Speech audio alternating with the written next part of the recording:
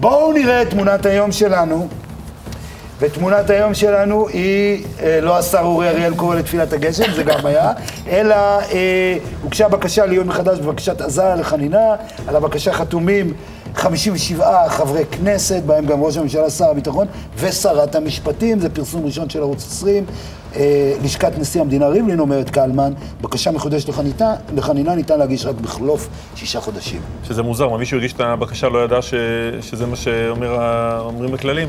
לא יודע, אני אחזור למה שכבר אמרתי פה פעם אחת. תראה, בהינתן זה שאני חושב שזה היה טעות ללכת ו... ולשפוט אותו באותם כללים, כאילו עזריה ושלום דומרני נשפטים לפי אותו, לפי אותו חוק. אה, אה, כאילו פעילות אה, צבאית מול, מול פעילות פלילית רגילה, אבל מהרגע שכבר עברנו את העניין הזה, והוא הורשע בהריגה, ובאופן יחסי לזה שהוא הורשע בהריגה, הוא יצא בסדר, בואו נקרא לזה ככה, שנה וחצי.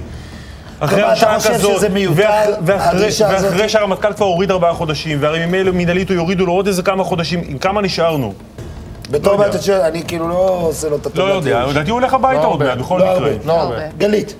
אני מסכימה באופן עקרוני עם קלמן, אבל יש משהו הצהרתי בפנייה הזאת ש... שאני דווקא בעדו, כי איכשהו כשחייל צה"לי יושב אחרי שהוא שגה ב... ב... בהתנהלות, ובעיניי הוא שגה בהתנהלות צבאית, כל ההתנהלות הזו של תיק פלילי היא חמורה בעיניי, וטוב שמציפים את זה, וטוב, ש... וטוב שאף אחד לא ישקוט. עד שהחייל הזה יצא מהכלא, מהבחינה הזאת. עירית ופויר יסיים. אני חושבת שהניסיון לתקן בישורת האחרונה את מה שהיה, התחיל והתנהל בצורה כל כך עקומה, אז באמת מעבר לקטע ההצהרתי של 57 ח"כים שחתומים על זה, מי שנותן אה, חנינה לאלאור עזריה, זה הרמטכ"ל, ריבלין והתקשורת הישראלית. כיוון שהם כבר שלושת אלה אמרו את דברם, אני לא חושבת אז חושבת שזה כלאם פאדי המכתב הזה. כן, כן אני, אני מסכים עם אה, קודמיי זה. אני רק רוצה, בואו נדבר על העצומה הזאת.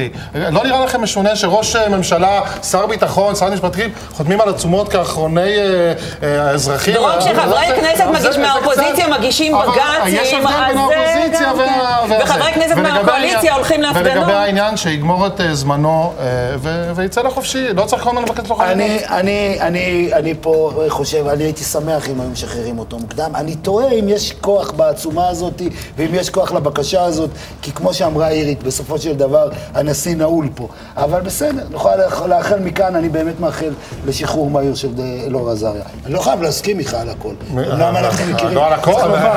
אבל קצת, קצת, שנשאיר לנו איזה משהו להתווכח.